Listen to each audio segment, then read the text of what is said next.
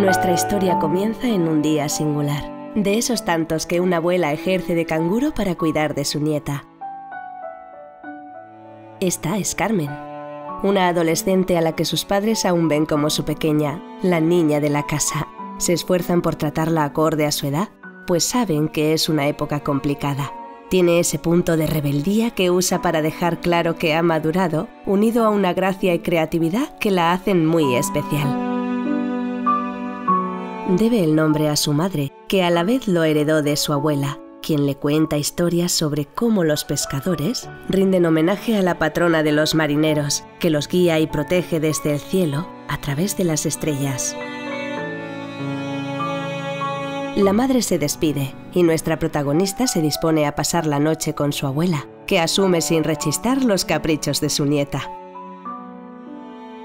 Pero algo inesperado ocurrirá algo que le permitirá a Carmen recibir una lección que jamás olvidará. La paciencia y la ternura de la que goza la abuela harán que su nieta aprenda a escuchar, amar las historias contadas por los mayores y a comprender que los cuentos no tienen edad. Porque, ¿qué ocurriría si el cuadro que adorna el salón encerrara una preciosa historia de amor entre un ser marino y otro estelar? La abuela nos narrará una increíble leyenda contenida en una pequeña obra de arte, cómo nacieron las estrellas de mar.